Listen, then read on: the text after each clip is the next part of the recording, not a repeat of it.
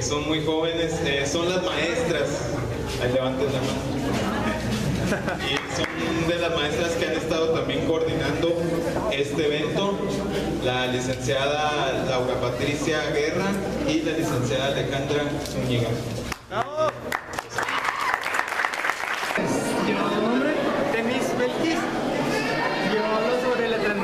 Que es un paso de la alquimia. Es, pues la alquimia no es muy, como quien dice, aceptada en la ciencia, pero sí es muy posible. Yo lo que trato de explicar es, son los triángulos, que es el modelo atómico oro, que está avanzando hacia lo que son las palabras que representan el plomo. y Cada uno tiene su, Pues nos tocó hacer lo que es cartel tridimensional para la exposición de arista visual del Colegio Palmore. Eh, el trabajo lo hicimos moviendo los canales rojo y azul y mandamos a hacer unos lentes de acrílico. ¿Y qué expresas con este tipo de trabajo?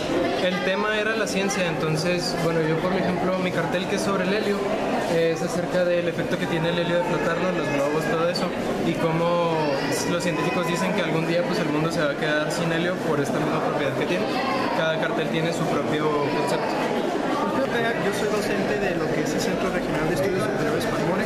Mis asignaturas son lo que es ilustración y diseño. Eh, este caso, en exposición, lo que me correspondió fue lo que es el semestre cuarto. Cuarto nos dedicamos a lo que fue hacer este, el cartel, cartel en tercera dimensión, con separación de canales, como los tengo aquí en la parte anterior, y también está lo que son los artes objetos, o sea, lo que son las tipografías en su relieve en físico. Entonces, de la idea detrás de toda esta exposición, como estamos en conjunto, es tratar de hacer que el concepto que se, se llama arista visual, o de lo que tratan lo que sí las figuras geométricas, de alguna manera se relacionarán con los temas. Entonces, mucho de la ciencia y de parte de la explicación de lo que son las este, ciencias aplicadas, la física las matemáticas, van de la mano porque precisamente surgen de una retícula. ¿Cómo explotas la creatividad de tus alumnos? ¿Cómo los induces a que exploten esa creatividad que tiene cada uno?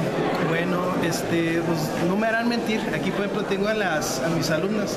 Muchas de ellas este, saben bien que es mucha presión a veces, saben bien que el trabajo requiere de este, paciencia, requiere de tiempo, sobre todo requiere de mucha investigación. Entonces, la motivación número uno que a veces les puedo dar a ellas es sobre todo lo real. ¿no? El mundo real de afuera es el que en realidad ellas deben de visualizar, porque todo esto de aquí es una práctica, ¿no? es una práctica que tenemos que llevar antes para llevar al futuro. Entonces, incluso yo desde este, muy temprana edad, ¿no? estaba, por ejemplo, saliendo de la carrera, me di cuenta que entrando como docente tienes esa responsabilidad tú de cultivar un poquito lo que es necesario, ¿no? lo que es la fuerza vital que a ti te lleva como artista visual o como diseñador gráfico, ¿no? que tú sepas que de todo el mundo puedes extraer algo bueno de eso bueno